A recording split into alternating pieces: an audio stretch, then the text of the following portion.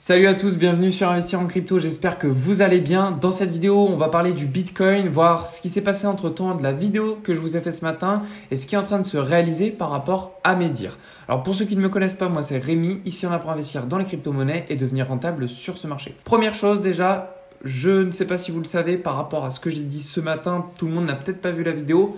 Aujourd'hui et euh, demain, c'est-à-dire 15 mars et 16 mars, on a la réunion de la Fed qui aura un impact conséquent sur le Bitcoin. Premier point. Deuxième point, qu'est-ce qu'on peut corréler à tout ça? On sait, on l'entend de partout, on a un Bitcoin qui est compressé, RSI, euh, que ce soit même en daily.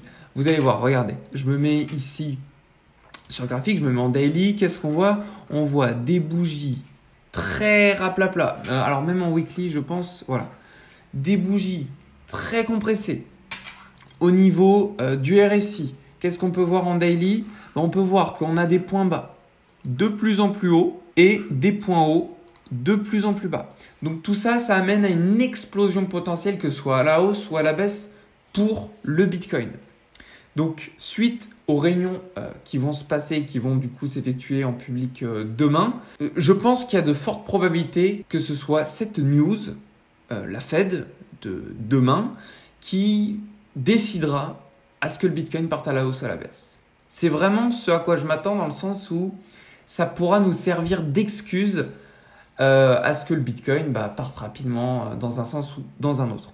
Mais en soi, d'un point de vue technique, on sait que le plus important soit derrière tout ça, c'est que on a réalisé une grande accumulation de shorts, mais également et surtout de positions longues. Et comme on peut le voir en dézoomant sur ce graphique, jusqu'au 25 600 dollars, on a énormément d'argent à aller chercher, puisqu'énormément de liquidations. Et ce ne sont que des liquidations. Ce qui nous indique, bon, l'argent qui est rentré sur le Bitcoin, mais aller chercher la liquidation là, cette liquidation peut très bien disparaître dans le sens où ça se trouve, toutes les personnes ayant voyez, positionné euh, des ordres d'achat avec ces liquidations, elles ont mis toutes des stop loss ici. Donc ça se trouve, dès lors qu'on bute la zone des 38 000 dollars, euh, ces liquidations n'existent plus. Puisque ça, ce sont des liquidations. Ce ne sont pas les endroits où les personnes ont positionné leur stop loss. Voilà, ça c'était pour la petite aparté. Maintenant, par rapport à ce qui s'est passé euh, ce matin, je vous ai dit que le Bitcoin aurait de cette probabilité. On va se remettre sur un graphique vierge et puis après on va revenir sur les tracés que j'ai pu réaliser. On va se mettre aussi en 15 minutes. Qu'est-ce que je vous avais dit? Je vous avais dit que le Bitcoin, cela m'étonnerait que l'on parte directement en bas, sachant que ici, nous avions eu beaucoup de personnes prenant des positions vendeuses. On le voit notamment ici, de par les fortes liquidations jusqu'aux 40 200, 40 600 dollars. Et donc, euh, je me dis, bon, les retardataires qui sont venus ici, avec leur stop loss ou leur leverage x100, x50, il y aurait tout intérêt à ce que l'on supprime leur position. C'est ce qui s'est effectué. Donc là, on est monté jusqu'où? Eh bien, tout simplement, on est monté jusque dans la zone d'OTE pour les shorters. Voyez, on a fait un premier rebond réagissant à la baisse jusqu'à moins 1%, je crois bien, moins 0,86%. Et puis, par la suite, on a réalisé une mèche jusqu'aux 39 400 dollars. On a rebondi et puis là, vous voyez, on est en train de repartir, continuer cette hausse euh, ben, qu'on a entamée depuis 15 mars 7h15. Par rapport à ça, je vous mets le S&P 500. Le S&P 500 nous a bien aidé à repartir à la hausse sur le Bitcoin. Mais vous voyez que là, on est en train de repartir à la baisse. Si je vous mets les volumes profile, on voit que c'est très intéressant parce qu'on s'est arrêté pile sur la zone ici des 4246 points qui représentent euh, finalement euh, la value haute euh, du volume profile. Je vous avoue que je n'utilise pas tout le temps volume profile, mais ça peut être pertinent des fois de l'utiliser. Par rapport à ça, on a bien été aidé. Maintenant, je pense, comme j'ai l'habitude de vous le dire, S&P 500 ou pas, Bitcoin, il va chercher les liquidités. Au moment où je vous tourne cette vidéo, si je dois changer ce que j'ai pu vous dire ce matin, de par le fait que ce matin, on n'avait pas les mêmes conditions au niveau des liquidations et au niveau du sentiment de marché. Hein. On était autour des 70% euh, par là, même ouais, 70% de position acheteuse. Là, vous voyez, on est retombé jusqu'aux 62%. S'il continue d'y avoir un rétrécissement, c'est-à-dire une forte prononciation vendeuse dans les contrats futurs sur le Bitcoin, alors il y a de cette probabilité à ce qu'on continue la hausse et à ce moment-là, va falloir qu'on parle de target. Alors, rappelez-vous, je vous avais donné plusieurs targets, notamment une qui a été atteinte, euh, c'est là où mon ordre d'achat euh, short s'est positionné 39 700 dollars. Ma position vendeuse est toujours active. Je suis actuellement à 24%, 26% de profit. Euh, ça risque de revenir à zéro et ça ne me fait rien du tout puisque de toute façon je m'y attendais plus ou moins. Il y a cette target donc des 39 200 dollars sur laquelle on pourrait stagner du fait que ce soit la zone d'OTE sur le court terme. Première target. Deuxième target, je vous l'ai noté au fur et à mesure. Zone ici des 39 500 dollars. Pourquoi? Tout simplement parce que je vais vous afficher quelque chose qui est très intéressant que je n'ai pas pour habitude de vous montrer puisque je n'avais pas souscrit à l'abonnement à l'époque. Euh, Trading Light, outil très intéressant qui nous permet de voir les ordres d'achat. Ordres d'achat ou de vente qui pourraient bloquer le Bitcoin euh, d'un endroit à un autre. Alors pour ce faire, euh, je vais prendre par exemple des Rebits, je vais mettre sur BTC perpétual. Et qu'est-ce qu'on peut observer? Alors, hop, on va essayer d'épurer un petit peu tout ça. On peut observer qu'ici, au 39 400, 39 500, vous voyez, on a beaucoup d'ordres de vente. Donc à ce moment-là, cette target peut faire office euh, de stagnation. On aura du mal à dépasser cette target. À cette occasion, si cet outil vous intéresse, je vous mets un lien affilié dans la description. Prochaine target à aller chercher, on va passer en référence graphique, on va monter un petit peu. Equalai, 40 300 dollars.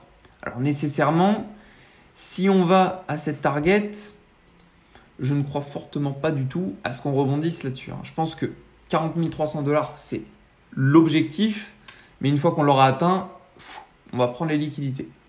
Et donc les liquidités, où est-ce qu'elles pourraient s'arrêter? Bah, Tout simplement, on va déporter ça jusqu'aux 40 600 dollars. 40 600 dollars qui, en soi, euh, sur notre graphique, ne correspond pas à grand-chose. Bon, à la limite, s'il correspond quand même à quelque chose, order block juste ici, zone de demande, vous voyez, où on a rebondi plusieurs fois, mais également à la zone d'OTE, pour euh, rappel, optimal trade entry ou zone de rechargement, qui est euh, pour le coup, elle, un peu plus grande, vous voyez, j'ai pris du plus haut au 42 500 dollars jusqu'au plus bas ici, au 37 500 dollars, et donc elle se situe ici au 40 600 dollars. Donc voilà une corrélation très intéressante. Zone de demande, zone d'OTE, plus fin de la prise des liquidations disponible euh, visuellement ici. Vous voyez, 40 500, ça correspond pile à cette zone où finalement euh, monter n'aurait plus trop d'intérêt pour le Bitcoin puisque euh, on aurait pris la, les liquidités les plus intéressantes. Et puis à ce moment-là, on pourrait faire le scénario dont je vous ai tant parlé, c'est-à-dire enfin partir plus bas, autour des 38 000, etc. Bien sûr, toutes les targets que je vous partage, très intéressantes pour prendre des positions vendeuses, peuvent ne pas être respectées. Quelle est la seule chose qui fait que ces targets peuvent ne pas être respectés? Même si sur le court terme, ça, euh, pour moi, c'est une évidence, on aura une légère stagnation, il y aura une réaction sur ces targets, eh ben, ce serait que au niveau du long short ratio, juste ici, on est une majorité de personnes prenant des positions vendeuses. Se disant peut-être, bon, je sais que tous les youtubeurs, tous les gens sur Twitter nous disent que le bitcoin va repartir aux 26 000 dollars, c'est une évidence, il y a trop de liquidités, comme je vous fais une vidéo, hein, euh, je vous influence indirectement, que je le veuille ou non. Et de ce fait, euh, qu'est-ce qui peut se passer alors? Bah, Il peut se passer que si on a une majorité de vendeurs et qu'on est aux 40 500 dollars, comme j'ai pu vous l'afficher ici, selon moi, la potentielle des dernières targets, je l'ai ajusté, hein, parce qu'avant je vous avais dit 41 000 dollars, mais je l'ajuste puisque c'est en fonction aussi de ce qui se passe sur les liquidations à prendre. Et donc, bah, si aux 40 500 dollars, admettons, on a 52% de personnes prenant des positions vendeuses, comprenez bien que les liquidités ne seront plus majoritairement au sud, mais plutôt au nord. C'est la raison pour laquelle il faudra euh, prendre ses précautions, ne pas faire du all-in à ces moments-là. En tout cas, j'espère que tout ce que j'ai pu vous partager aura pu vous apporter un maximum d'informations. En tout cas, moi, c'est ces informations-là que j'utiliserai pour compléter ma position de trading euh, en position vendeuse. J'espère que cette vidéo aura pu vous plaire. Et ah oui, petite chose aussi, vous avez remarqué, j'ai remis le mode sombre avec les couleurs initiales euh, sur les bougies vertes et rouges. Pourquoi Tout simplement parce que j'ai eu euh, plusieurs conversations avec vous mes abonnés et euh, vous m'avez dit pour la plupart que vous y retrouviez beaucoup plus avec ce genre de graphique plutôt qu'avec les bougies noires ou blanches. Donc je vais m'adapter et en même temps j'ai envie de vous dire, euh, bon, si ce n'est qu'une histoire émotionnelle, parce que si je mettais des couleurs blanches et noires à la base, c'était une histoire uniquement basée sur les émotions pour éviter de se faire influencer car on a toujours été habitué les feux rouges, faut s'arrêter, les feux verts, on peut avancer, le vert c'est le bien, le rouge c'est le mal. Et vous savez, indirectement dans la tête, bah, ça peut mettre du FOMO ou du FUD, et ce qui pousse à faire un petit peu n'importe quoi sur les marchés financiers, surtout dans le trading. Donc voilà, mais en tout cas, je vous ai remis ça comme par défaut. J'espère que l'interface vous plaît, elle sera définitive. Et euh, bah, j'espère que cette vidéo vous aura plu. Je vous souhaite à tous une très belle journée, prenez soin de vous et on se retrouve dans la prochaine vidéo.